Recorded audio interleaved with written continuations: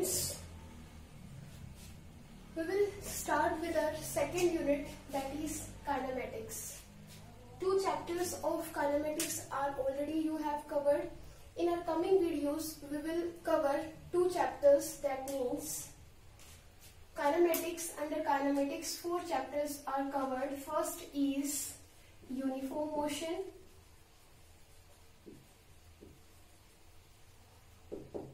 Second is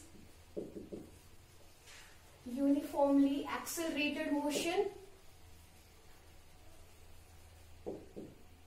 Third is vectors. And fourth is motion in a plane.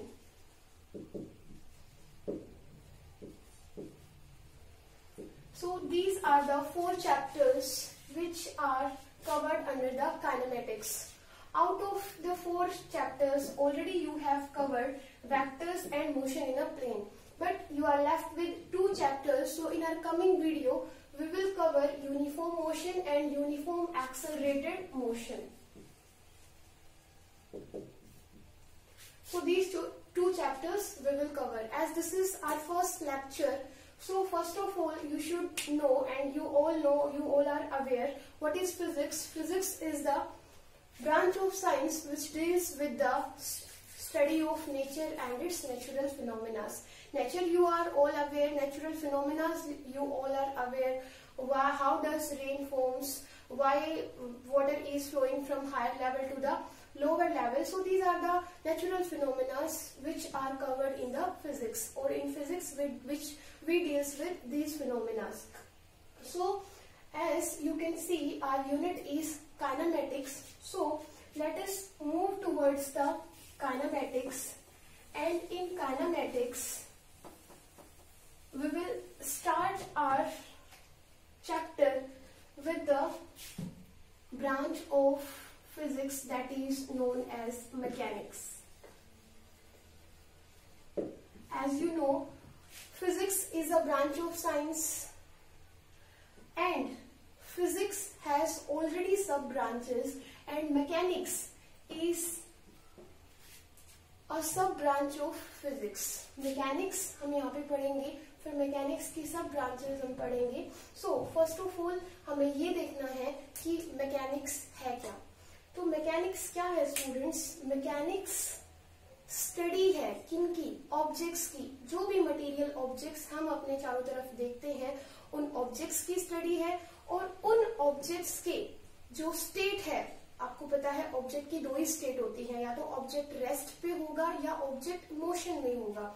तो object की study करेंगे हम mechanics के अंडर और उस ऑब्जेक्ट की जो स्टेट है state of rest and state of motion उसको हम स्टडी करेंगे। So mechanics It is the branch of physics which deals with the study of object,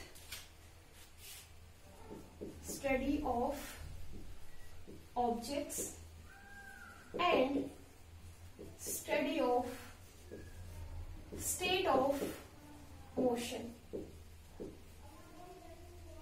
And you know sorry state of object. And you know object has two states motion and rest so this is mechanics. So mechanics is a branch of physics which deals with the study of objects and study of state of the objects. That means object motion में है या फिर rest में है इन सबको हम mechanics के अंदर study करेंगे. So we have come across another word that is object. What is object? Object क्या होता है किसको हम एक ऑब्जेक्ट बोल सकते हैं so object is anything having mass volume structure shape size कोई भी ऐसी चीज़ जिसका मास है, वॉल्यूम है स्ट्रक्चर है शेप है साइज़ है, उसको हम क्या कह सकते हैं? ऑब्जेक्ट बोल सकते हैं। हमारे चारों तरफ़ जो भी चीज़ें हैं उनको क्या बोल सकते हैं? ऑब्जेक्ट बोल सकते हैं। हम खुद भी क्या है? हम खुद भी एक ऑब्जेक्ट है। So object is anything having mass volume shape size structure that is known as object so let us move towards the branches of mechanics. As I have told you, mechanics itself is a branch of physics and mechanics has also sub branches and mechanics has three sub branches. First is statics, second is kinematics, kinematics that is the name of our unit and third sub branch of mechanics is dynamics. So these are the three sub branches of mechanics. I hope you have understood why first I discussed about the mechanics because our unit is kinematics and kinematics is a sub branch of mechanics. So let us discuss one by one. Statics first. Whenever we had the word static, of the first thing that, which come into our mind is something which is stationary. Statics जब भी हम word सुनते हैं तो जो first चीज़ हमारे mind में आती है दैट इज़ स्टेशनरी कोई भी ऐसी चीज़ जो क्या है स्टेशनरी है रेस्ट पे है, उसको हम क्या कह सकते हैं? उसको हम स्टैटिक्स कह सकते हैं। तो स्टैटिक्स क्या है? स्टैटिक्स भी एक ब्रांच है। किसकी? मैकेनिक्स की और मैकेनिक्स किसकी ब्रांच है? फिजिक्स की।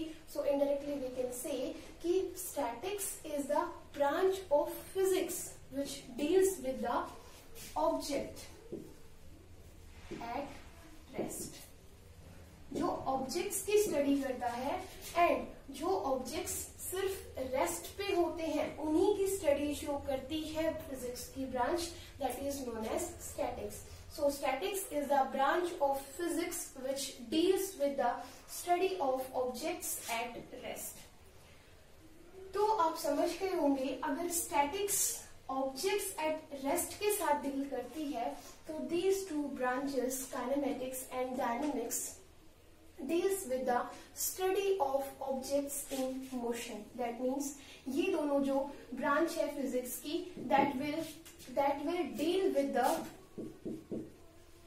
study of objects in motion यहाँ पे हम ऑब्जेक्ट्स की स्टडी करेंगे जो ऑब्जेक्ट मोशन में होंगे उनकी। अब अगर दोनों में ही हमें काइनेमेटिक्स और डायनामिक्स दोनों के अंदर अगर हमें ऑब्जेक्ट्स को स्टडी करना है which are in motion then what is the difference between the two kinematics और डायनामिक्स दोनों के बीच में क्या डिफरेंस है? देखो स्टूडेंट्स काइनेमेटिक्स और dynamics in your 11th class, in your 12th class or from the need point of view, these two are most important. Most of the syllabus and major portion of the physics is covered under these two branches. In our, this unit also, this is note of our use, we will study these, these two, kinematics and dynamics. So first of all, to make you understand kinematics, I will take an example of a vehicle. Suppose this is a vehicle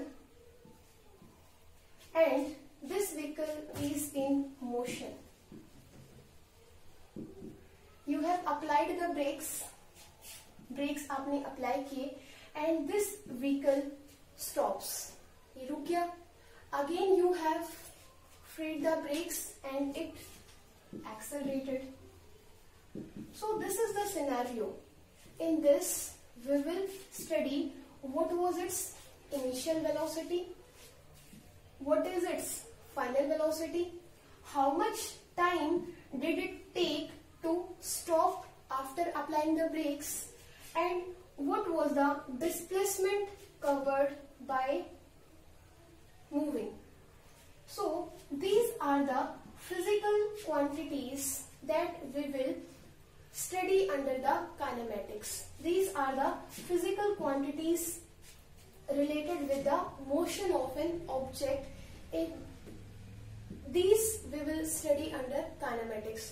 तो kinematics के अंदर हम ये सारी physical quantities की क्या करेंगे study करेंगे और इनके बीच में जो भी रिलेशन एस्टेब्लिश होगा वो भी हम क्या करेंगे स्टडी करेंगे लाइक like आप लोगों ने नाइन्थ में किया है So units of motion here v is equal to u plus at, s is equal to ut plus half at square. So all these, these are the relation between u, v, t and s. So we will, uh, under this branch, we will study the, these physical quantities and the relation between these physical quantities. So this is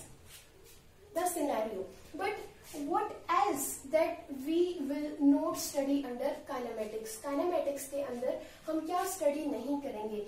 ये object है, ये motion में आया, हमने break apply किए, ये stop हो गया अगेन हमने ब्रेक्स को फ्री कर दिया, फिर से ये व्हीकल चलने लग गया। ये हमें यहाँ पे स्टडी करना है। लेकिन जो हमें स्टडी यहाँ पे नहीं करना है, वो है why this happens why you have applied brakes why it stops why it is again accelerating so जो मेन चीज़ है वो है cause of motion cause of stoppage of this vehicle and cause of again accelerated produced in this motion.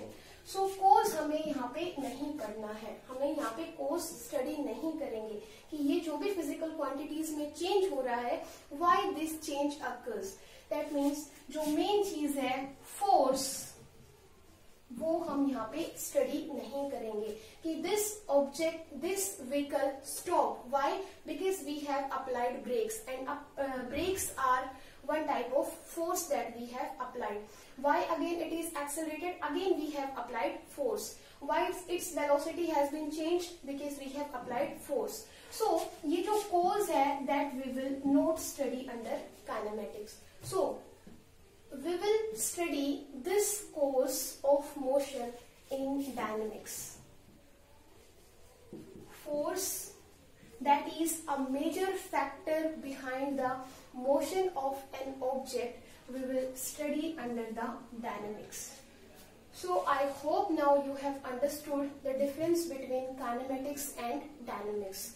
Kinematics के अंदर जो हम main study करने वाले हैं that will be regarding the physical quantities related with the motion and these are the physical quantities related with the motion and the relation between these physical quantities and in dynamics we will study the major factor major factor behind the motion of an object that means dynamics के अंदर हम force को study करेंगे and the famous equation of force that means force is equal to m into a F is the force applied on an object whose mass is m and by the application of force the acceleration produced in the object is a. So we uh, study the famous equation F equal to ma under dynamics and we study V is equal to u plus at s is equal to ut plus half at square v square minus u square is equal to 2as under the kinematics. So this is the major difference between the two. Mainly we study the major factor behind the motion force under dynamics. So वैसे तो kinematics और dynamics दोनों ही क्या है major portion है और अलग अलग चैप्टर्स हम इनमें स्टडी करते हैं सो so, अब हम चलते हैं अपना जो मेन है काइनेमेटिक्स की तरफ so up to now we have studied what is physics what is mechanics mechanics is the study of objects and the state of the object whether the object is at rest and is in motion next is three sub branches of mechanics statics kinematics and dynamics statics branch of physics that deals with the uh, object at rest. Kinematics and dynamics are related to the study of object which are in motion. Now we will move forward towards the kinematics. So I will rub it all.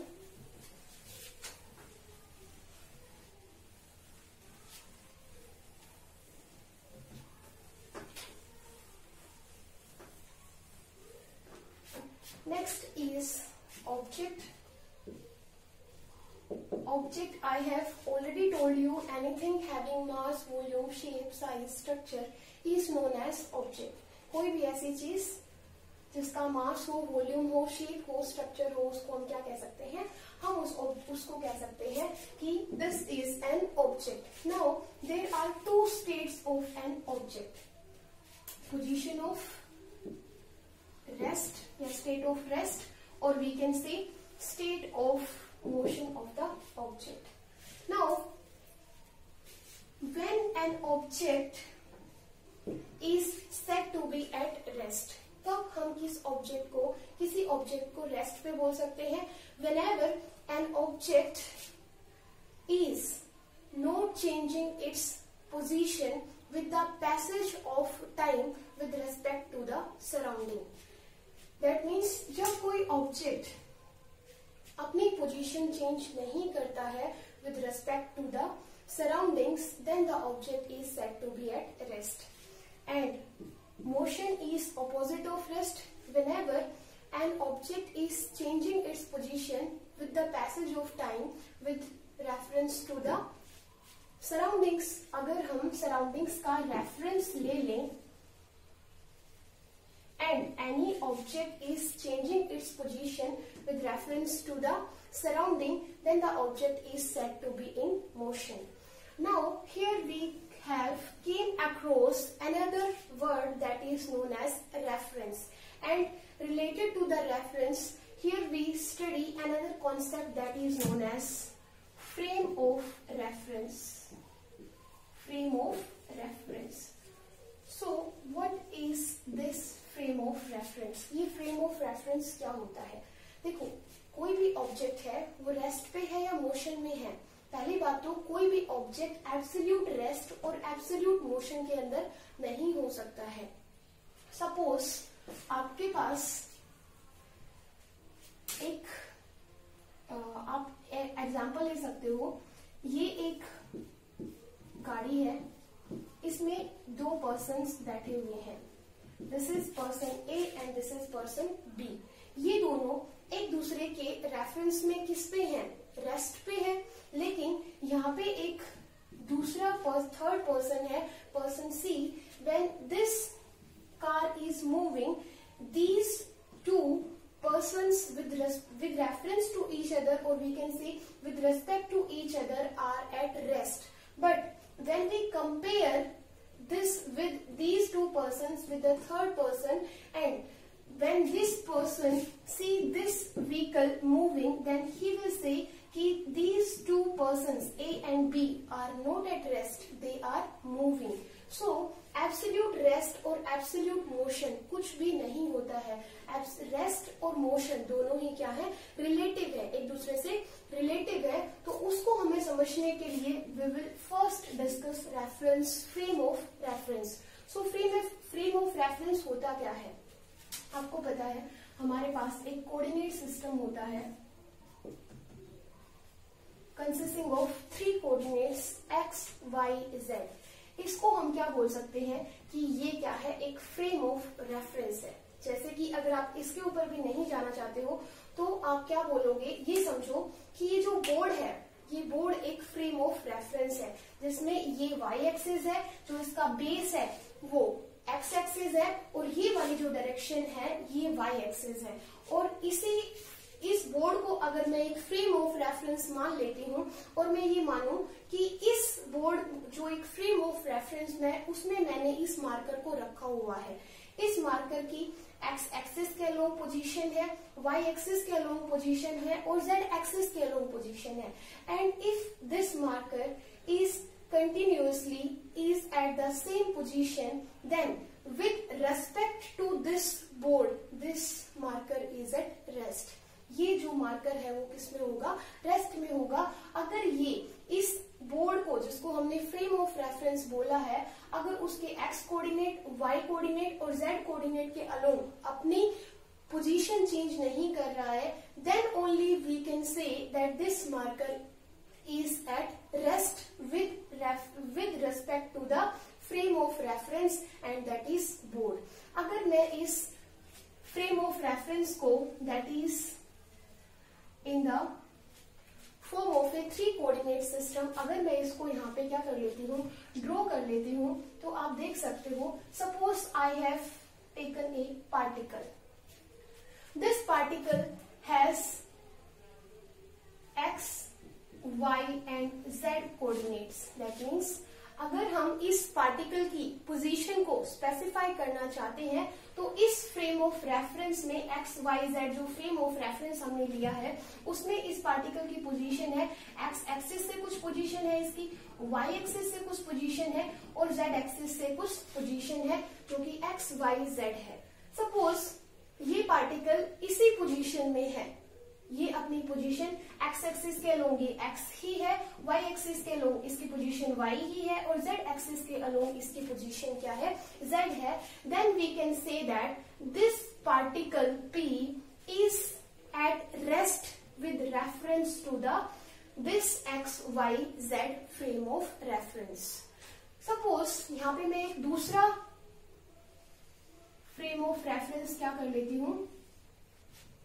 Consider कर लेती हूँ। This is X Y Z now अब ये क्या कर रहा है? ये फ्रेम ऑफ़ रेफरेंस जो फ़र्स्ट वाला हमने कंसिडर किया था, ये v वेलोसिटी से क्या कर रहा है?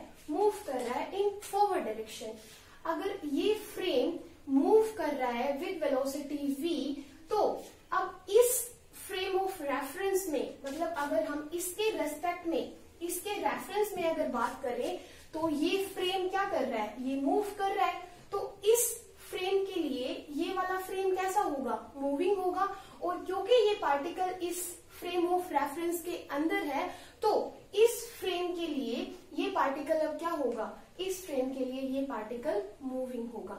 सो आई होप आप समझ गए होंगे कि किसी भी ऑब्जेक्ट को, की पोजीशन को हम रेस्ट पे या मोशन में अगर हम बताते हैं तो वहाँ पे हमें ये बताना पड़ेगा कि फ्रेम ऑफ़ रेफरेंस वहाँ पे देना पड़ेगा कि किसके रेस्पेक्ट में। अब ये जो सेकंड वाला जो रेफर जो हमने फ्रेम लिया है उसके रेस्पेक्ट में ये ये ऑब्जेक्ट क्या है? मूविंग uh, है मोशन में है लेकिन इसके रेफरेंस में ये किस पे है? रेस्ट पे है। अगर आप वही दूसरा एग्ज़ाम्पल अगर आप इस गाड़ी से लें सपोज़ ये एक गाड़ी है, एक कार है, ये मूव कर रही है, इसमें दो पर्सन बैठे हुए हैं ए और बी तो इन पर्सन दोनों पर्सन के लिए जो फ्रेम ऑफ़ रेफरेंस होगा, वो क्या होगा? ये व्हीकल होगा। इस व्हीकल के अंदर ये बैठे हुए हैं। तो इस व्हीकल के रेफरेंस में या इस व्हीकल के रेस्पेक्ट में ये दोनों क्या है? ये दोनों रेस्ट पे हैं। लेकिन बाहर जो कोई थर्ड पर्सन खड़ा हुआ है सी जब वो एक इस व्हीकल को चलता हुआ देख रहा है, इस थर्ड पर्सन के लिए जो फ्रेम ऑफ़ रेफरेंस होगा, वो क्या होगा? ग्राउंड होगा, क्योंकि वो ग्राउंड पे खड़ा हुआ है। ये दोनों व्हीकल में बैठे हुए हैं तो इन दोनों के लिए जो फ्रेम ऑफ़ रेफरेंस होगा, वो व्हीकल होगा, इसके लिए ग्राउंड होगा। लेकिन जब ये व्हीकल चल रहा है और ये थर्ड पर्सन इसको देख रहा है तो इसके लिए ये फ्रेम ऑफ़ रेफरेंस कैसा है? मोशन में है। और ये फ्रेम ऑफ़ रेफरेंस अगर मोशन में है तो ये दोनों ऑब्जेक्ट्स